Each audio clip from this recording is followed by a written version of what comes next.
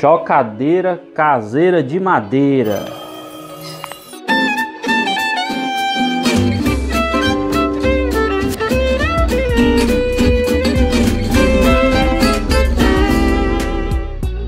Fala pessoal, tudo bom com vocês? Galera, é o seguinte, eu vou mostrar aqui para vocês uma chocadeira que eu fiz de madeira com baú antigo. Se você gosta desse tipo de conteúdo, galera, se você gosta de criatividade, de produtividade, você se inscreve aqui no meu canal que eu vou ensinar muita coisa legal para vocês.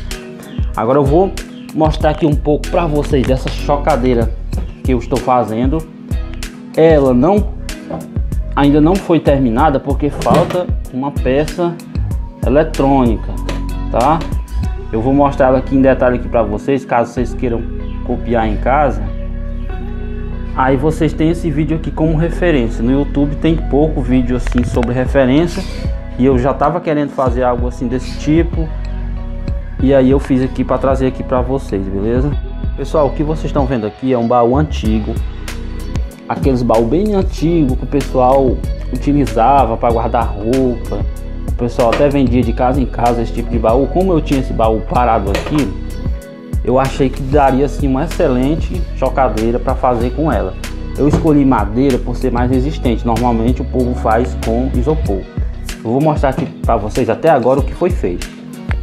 Aqui eu fiz um corte com a serra, fiz um corte isso aqui que vocês estão vendo é plástico e aqui é a ribite, para a gente conseguir ver os ovinhos lá dentro, né? Aqui do lado, aqui do lado eu fiz um pegador, isso aqui é couro, ó, foi couro e a parafusado desse lado aqui. Do outro lado do mesmo jeito. E como ele tem um tamanho ideal e tem uns pezinhos aqui, ficou perfeito para fazer isso lâmpada, pessoal. Eu tô pensando em colocar a lâmpada aqui, sabe? Ela vai ficar mais ou menos aqui. Ela não foi terminada porque eu comprei a peça chamada termostato no AliExpress e o pacote chegou aberto, alguém tirou a minha encomenda e é, roubou, né? Digamos assim, extraviou.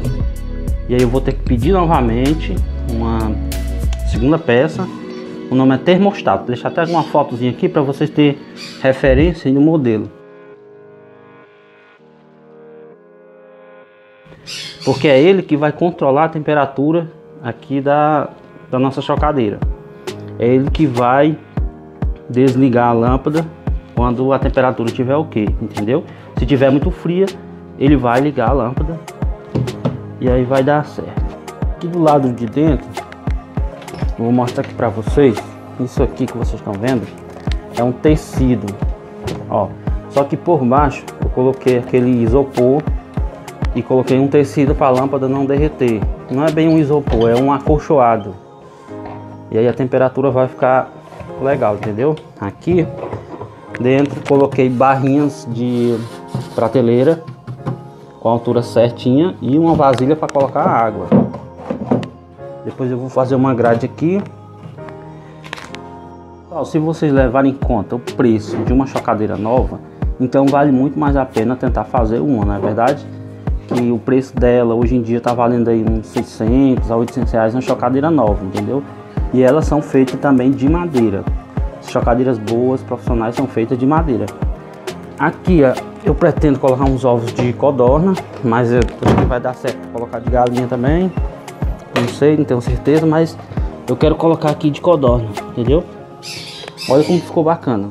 Tamanho, tudo ok. Aqui vai ficar a lâmpada. Aqui, aqui vai ter a trava. Praticamente o baú já, já esses baúzinhos aqui são perfeitos para isso aqui. Talvez eu coloque um furinho com uma ventilação qualquer. E quando eu comprar a peça, eu vou montar ela, a peça bem aqui, peça eletrônica, e vou montar ela todinha e eu faço um segundo vídeo para vocês, é, vendo se deu tudo certo, tá fazendo alguns testes. Tá vendo aqui, ó, galera? Galera, esse foi, foi, o vídeo de hoje. Se você gosta, se inscreve aqui no canal. Vou estar tá fazendo outras coisas aí, mostrando aí o que eu sei fazer para vocês. Um pouco de criatividade, um pouco de, de criatividade, produtividade, entendeu? Coisa do mato, coisa simples mesmo. Mas se você gosta, quer aprender alguma coisa legal, eu vou ensinar aqui nesse canal como se faz, entendeu?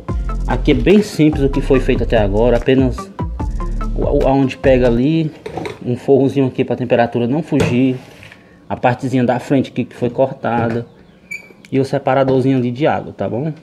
Então é isso aí, galera. Se você gostar, dê aquele likezinho para ajudar, beleza? Se inscreve. Valeu!